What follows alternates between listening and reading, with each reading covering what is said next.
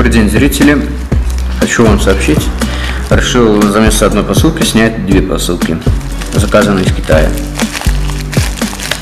Заказал такие вот разъемы. У меня знакомая попросила такие вот разъемы.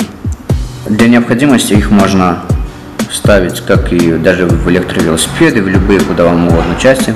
Есть как э, вот три, тут три разъема, типа соединение плюс-минус и заземление. Тут в чем прикол? В том, что не надо разбирать полностью пластик, не надо ничего резать, все откручивается без проблем. Вот возьмем и открутим. Сюда тоже соединяются кабели и так далее. Вы, наверное, задумаетесь, для чего я это купил.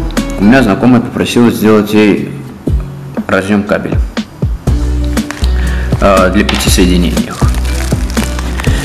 Видите, вот купил для пяти соединений. Вот таких они соединяются таким образом. И чем я собирался сделать? Взять любой такой кабель USB и просто, как говорится, сделать так. Удлинить его, кабель, конечно. Удлинить и сделать такой разъем, чтобы он был на 5 разъемов. Конечно, вы подумаете, он теряет вольтаж или еще что-нибудь. Да, есть такое. Он потеряет свой ток, он потеряет свое напряжение, но ключевой момент, то, что он будет заряжать, например, три, три устройства одновременно, хоть это займет немножко дольше, но что поделать. Должны рисковать чем-то. Ну, если что, можно даже, если в будущем найду USB разъем более покрепче, я имею в виду посильнее, мощнее, то э, поменяю кабель, ну, поменяю разъем, и тогда вольтаж увеличится. Это не проблема. Это потом в будущем можно, как говорится, подкорректировать, если понадобится. Затем, помимо этих разъемов, я заказал медную ленту. В чем прикол этой медной ленты?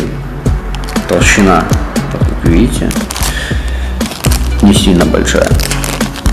Толщина и ширина. В чем прикол этой ленты? Она клеющая идет. Например, для того, чтобы заместо том, что припаивать как-то медную ленту, можно ее просто приклеить. А потом на сверху уже припаивать кабеля к этой медной ленте. И свою работу она выполняет хорошо пробовал уже на других тестах своих делать. Удачного вам просмотра.